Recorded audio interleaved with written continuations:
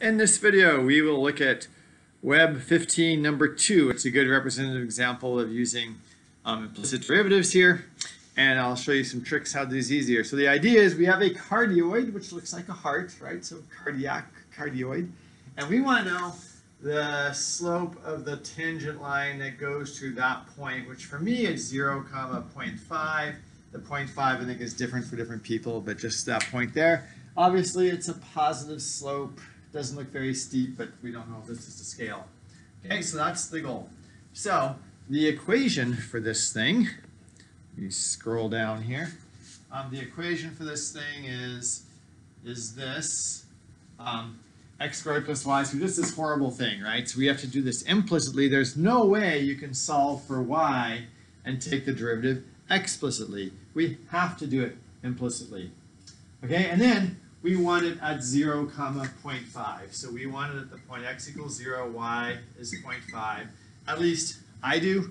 Um, your numbers might be slightly different, and then I have these 2's there, so your numbers might be slightly different.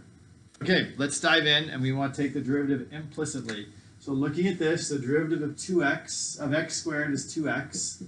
The derivative of y squared is 2y times y prime, so plus 2y times y prime equals, this is something squared, so it's 2 times that to the 1.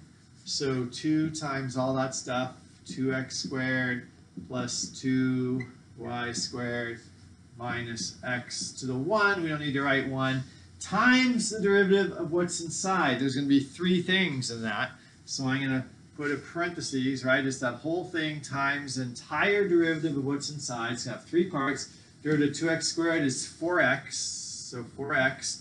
The derivative of 2y squared is 4y times y prime, so plus 4y times y prime.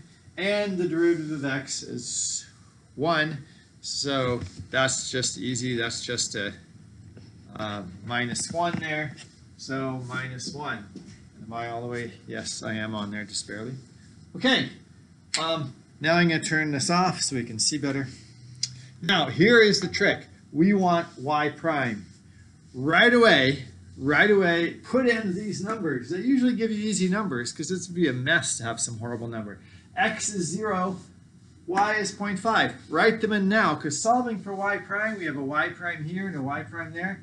That'd be a nightmare. But if we plug in x equals 0, and for me it's 0.5, which, you know, is be nice if there's 1. Maybe you guys have a 1, that'd be even easier. But 0.5 is not bad. Makes the math way easier. Okay, let's plug in x equals 0. Well, that term goes away, so that's 0 because x is 0. This one, y is 0.5. 0.5 times 2 is 1, so that's just plus y prime, right? 2 times 0.5, yeah, is 1, equals 2 times x 0, y is 1 half again, so 0.5, 2 times 0.5 is 1 times another 0.5, so that's just a 0.5, minus 0, so that's just 0.5, this whole thing in parentheses is just 0.5, hat y squared, yep, that's right, yep, times x is 0, 4 times y, which is 1 half, 0.5, so that's 2, so 2 y prime minus 1. Okay, way easier. Now we can do the algebra and solve for y prime. Um, way easier than solving for y prime with this thing. So always do that. As soon as you take it, plug in the numbers, it makes it way easier. Okay, so when I do that, let's see, I get y prime equals 2 times 0.5 is just 1. So that goes away. So over here I just have 2y prime minus 1. Uh, let's see. I'm going to put the y prime over here, the 1 over there. So I think I just get 1 is equal to y prime. Whoa, that's nice. My slope is 1. So the tangent line is super easy. The x-intercept, the y-intercept is 0.5.